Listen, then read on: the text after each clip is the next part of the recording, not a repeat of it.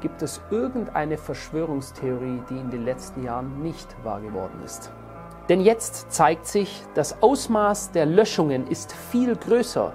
CIA, FBI und andere Regierungsstellen sendeten demnach regelmäßig Anträge zur Löschung von Tweets oder Accounts, hakten nach, verliehen ihren Forderungen Nachdruck. Wir reden hier also von Geheimdienststellen, welche auch das ist heute bekannt, in dem ganz klar aufgezeigt wurde, dass das FBI eine eigene Abteilung bei Twitter hatte, welche regelmäßig zensierte, sollten Meldungen außerhalb des Meinungsnarrativs oder störende Meldungen im Twitter-Feed gezeigt worden sein.